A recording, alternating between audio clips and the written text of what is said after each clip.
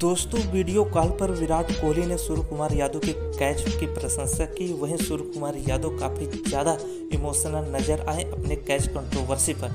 दोस्तों T twenty world cup का खिताब जीते टीम इंडिया को तीन दिन बीत चुका है, लेकिन सूर्य कुमार यादव का डेविड मिलर के कैच पर कंट्रोवर्सी जारी है। इस पर सूर्य कुमार यादव काफ़ी ज़्यादा टूट चुके थे।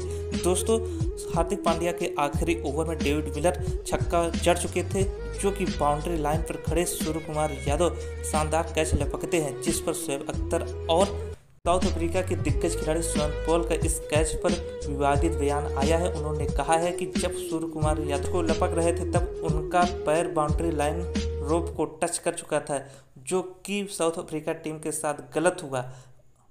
इन्हीं दिग्गजों के बयान पर सूर्य कुमार यादव काफ़ी ज़्यादा इमोशनल हो चुके थे। तो इसके बावजूद विराट कोहली ने वीडियो कॉल में सूर्य कुमार यादव की कैच की प्रशंसा की और कहा, तुमने कर दिखाया। तुमने एक ऐतिहासिक कैच पकड़ा है। दोस्तों, विराट कोहली की इस हार्ड विनिंग के लिए दिल से एक लाख तो ज़रूर बनता है। जय